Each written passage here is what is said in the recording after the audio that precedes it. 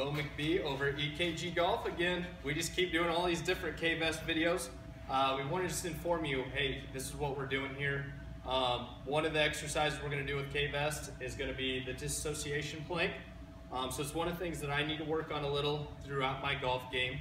Uh, remember, we just have just the upper torso and pelvis on this one. So I'm going to go ahead and let Wyatt take it away. He's going to go ahead and take me through this. Yep.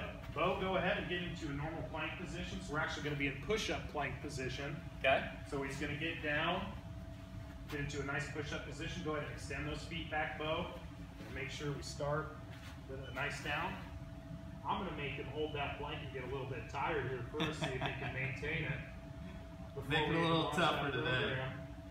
Really testing that core. Now, with that disassociation plank, he is actually going to open up with that right arm and work on that thoracic spine. And he's going to hold for four, come down, and drive that same side leg through. So one of the big skills in golf is to be able to disassociate upper from lower body. It's exactly what we're doing here. He has to stabilize with the lower body when he's moving the upper body, and vice versa. Bo's going to go through one more good four second hold here on one side, really open up that spine, and hear that musical tune that we're always looking for to let us know we're in the right position.